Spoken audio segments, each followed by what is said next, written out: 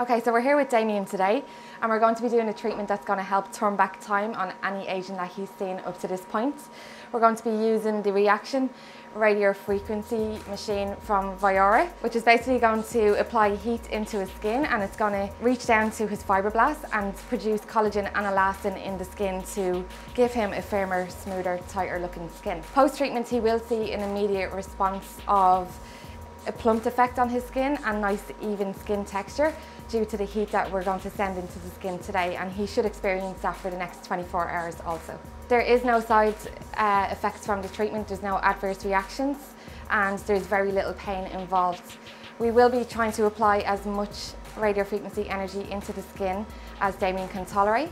The more energy that Damien can take into his skin will give him a better response and we're looking for general erythema on his skin at the end of the treatment.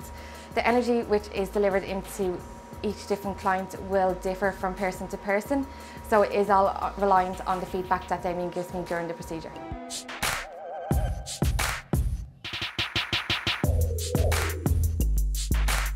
The energy we sent into skin, it's going to remodel underneath over the next 12 to 16 weeks.